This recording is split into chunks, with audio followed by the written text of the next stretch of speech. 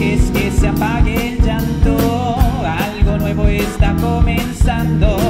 Es el gesto que llama la tempestad. Va sin prisa, ciclo despejado. Escribo tu nombre en el